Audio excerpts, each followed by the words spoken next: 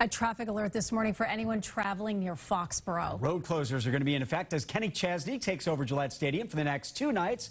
Anna Meiler is there live with what you need to know today. Anna?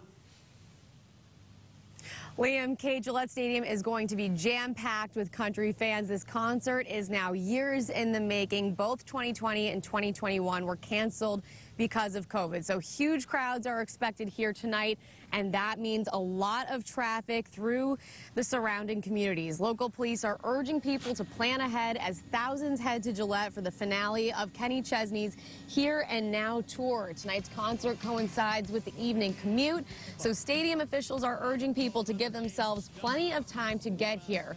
There will be restrictions in place on local roads, so concert goers must use I-95, 495, or Route Route 140 to access Route 1 and Gillette Stadium.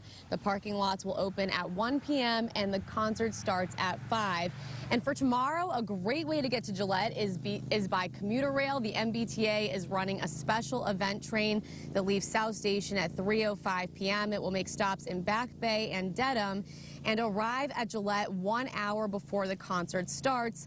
The round trip costs $20. You can't use a regular commuter rail ticket or pass, and then the train will leave Foxborough a half hour after the concert ends. And guys, because we got out here so early this morning, we have a great parking spot. So I brought myself a little folding chair. I have my coffee, and now all I need is a concert ticket. So someone please let me know if you have one to sell one to me.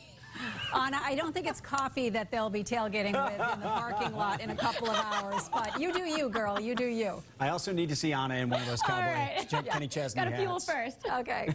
Anna, thank, Thank you, Anna.